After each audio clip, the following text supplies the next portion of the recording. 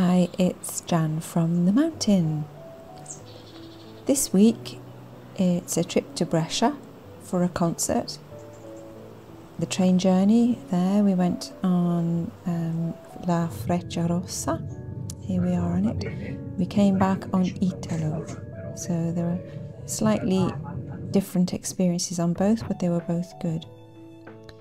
Now we came out of Florence, Santa Maria Novella, and this is the beautiful countryside going up to the north of Italy. It's very, I love it. It's not so flat, it's not at all like the mountain, but it's very, very much like the countryside at my mum's house where I grew up. So I was quite taken taken by it all. A little bit different because you can see rows and rows of grapevines there we've just been past. The train journey was interesting because we have to, in order to go anywhere, we really need to get to Florence. So we drove to Pisa, we got the train from Pisa to Florence, and then we took this Freccia Rossa, which means red arrow, up to the north. I had to wait until we got to a station where lots of people got off to show you the inside of the carriage. We went business class, and the seats are beautiful a, a beigey brown, I suppose tan leather. There's plenty of room on the tables. If you want a computer, you can fold them up or down. There are lots of sockets and loads and loads of space.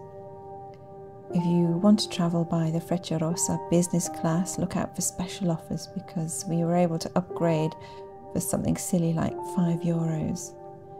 We pulled into the station um, near Lake Garda and then we came out in the opposite direction. So I was going forward in and I came out backwards while we took the other line to go towards Brescia, where our concert was to be held. I went with my younger daughter, and we were meeting my elder daughter in Brescia for the concert. It was quite pretty here actually in the distance. You could see Lake Garda, and I actually I think I've put it on my list for places to go in the future. This was a particularly pretty station. It's just it looked so warm and uh, clean, and I loved the buildings. And the stations are, are very different here in Italy. Here we had a better view of the lake, although you can't see much because it was very hazy. It was actually a lovely day. And a very, very pleasant journey with the Frecciarossa. We'd only booked to stay one night, and so it was very much there, concert, and back again. Some of these lovely mountains in the distance, so they were reminiscent of my mountain home.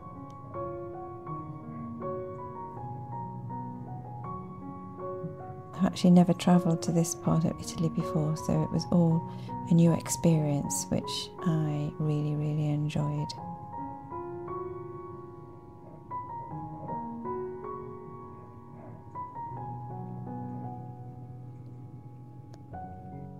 At night time, we went to the concert. We took the metro for about 15 or 20 minutes and we arrived at the concert venue. Never seen anything like it before because it was like a complex and there are lots of different things going on. You could take dance classes, you could eat, and in fact, this is the concert hall, but actually, before I actually went in to the entrance, you had to walk through a place where you could have a quick meal and you could even make a whole evening of it, really, if you wanted to. Here we are at the concert venue. Obviously, I couldn't record any of the concert, but I hope to give you a taste of the atmosphere. We, we thought we were going to have to get a taxi, which would have been very expensive. But we found out the metro was open late, so it was one mad dash to get back to our hotel.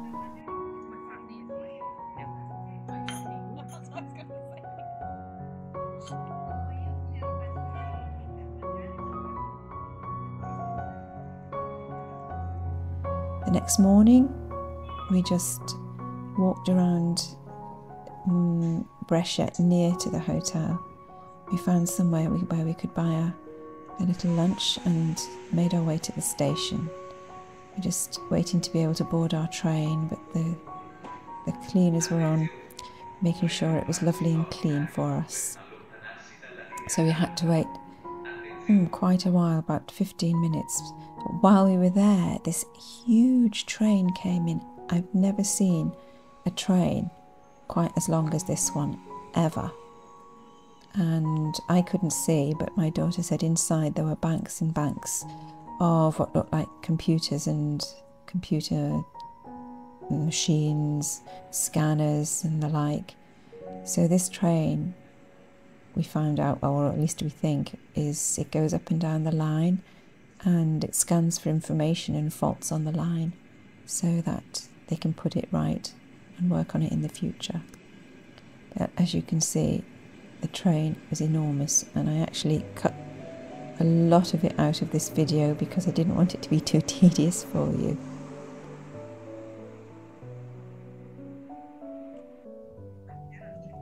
This is the Italo train.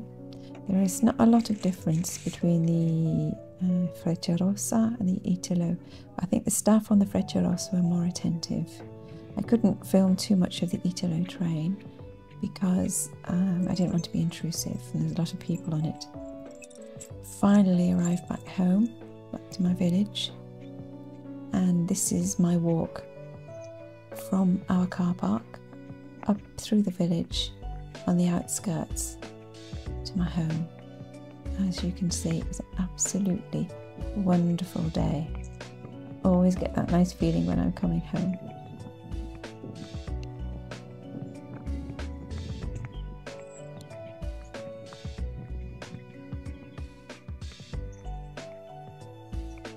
There's a lot of uphill though.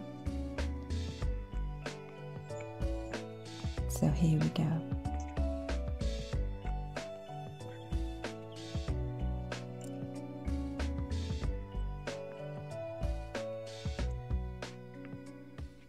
Always nice to get to this bit because it's flat.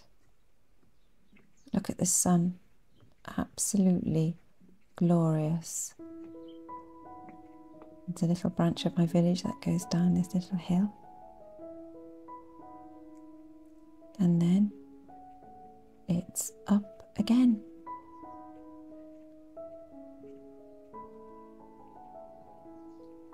There's lots of little nooks and crannies in my village.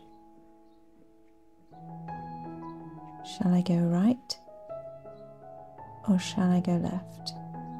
It's left. Let's go past our little museum.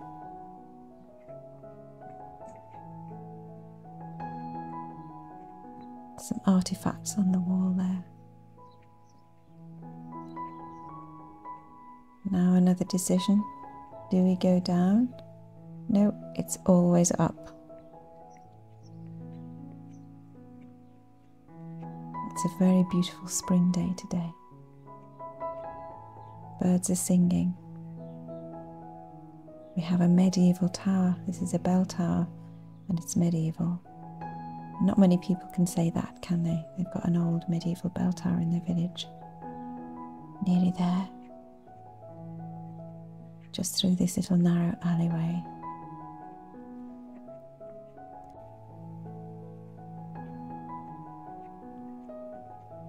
And I've arrived. This is my road.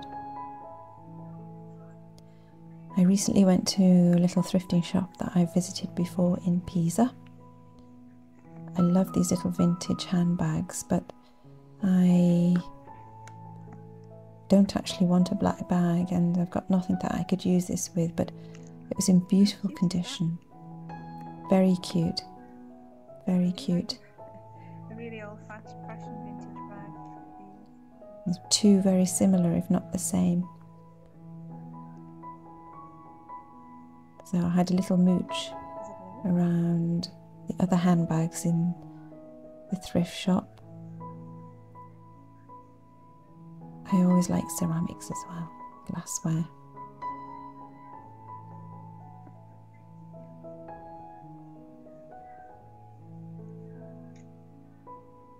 Wasn't really anything that caught my eye this time round here.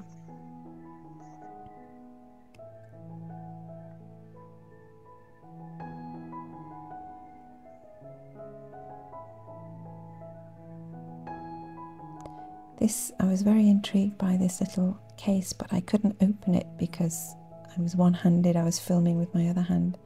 But it turned out, I realised it was a light meter in the old fashioned days when you had to have a light meter if you were a photographer. Old fashioned camera, which would probably be a 35mm film one. Books galore, mostly Italian. And at the moment, I haven't really uh, got a place for them. Oh, here you can buy little bits to replace in your stovetop coffee maker or moka, as we call them here in Italy. It's about a euro, 150, but you can get them new in the local shops, so there was no savings to be made by getting those. I love this little dog, porcelain dog gorgeous. There is something on this shelf that spoke to me. I actually love the red glassware, but it doesn't go with my decor or my plans at the moment when it's very expensive. I love this glass paperweight like a bird, but it was 25 euros, so I wasn't going to buy it. Jewellery, I'm always looking for that special piece, but nothing caught my eye. I did actually start to feel disappointed that I hadn't seen anything, but I actually left empty handed, would you believe? So I'll have to go back again soon. Next time, a visit to my absolute favourite thrift shop of the moment at Lucca. So well organised, I think it's got everything except silk scarves. Never seen them there. So if you like my video, please give me the thumbs up and subscribe to my channel and hit the notification bell if you want to be the first to hear about any new videos. And I'll see you next time.